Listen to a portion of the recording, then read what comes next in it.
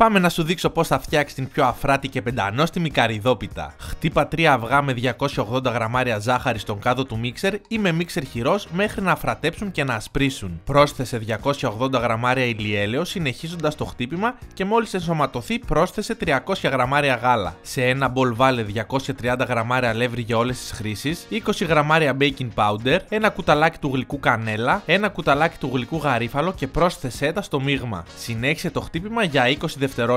Βάλες στο άδειο μπολ άλλα 230 γραμμάρια αλεύρι για όλες τις χρήσεις, 200 γραμμάρια αλεσμένα καρύδια και ανακάτεψε. Πρόσθεσε το αλεύρι με τα καρύδια στο μείγμα και χτύπα για 20 δευτερόλεπτα. Σε ένα μπολάκι ανακάτεψε μία κουταλιά της σούπας μαγειρικής σόδα με μία κουταλιά της σούπας ξύδι, ρίξω στο μείγμα και ανακάτεψε για 20 δευτερόλεπτα. Άδειασε το μείγμα σε ένα λαδωμένο ταψί 30x35 εκατοστά και ψήσε σε προθερμασμένο φούρνο στις αντιστάσεις στου 180 για περίπου 30 με 35 λεπτά. Μόλις βάλεις την καριδόπιτα στον φούρνο, ρίξε σε μια κατσαρόλα 770 γραμμάρια ζάχαρη με 770 γραμμάρια νερό. Μόλις βράσει, πρόσθεσε μια κουταλιά της σούπας χυμό λεμονιού, ανακάτεψε και απόσυρε από τη φωτιά. Βγάλε την καριδόπιτα από το φούρνο και άφησε την να κρυώσει. Κόψ την σε 12 κομμάτια και σιρόπιασε τη χλιαρή καριδόπιτα με το ζεστό προς χλιαρό όχι καυτό, σιρόπι. Βάλε λίγο λίγο το σιρόπι για να το απορροφήσει καλά. Γάρνιρε με τριμμένα καρύδια και άφησε την καριδόπιτα για 2 με 3 ώρες να ρουφήξει καλά το σιρόπι. Κάνε like άμα σου άρεσε το βίντεο και πες μου στα σχόλια αν σου αρέσει η καριδόπιτα.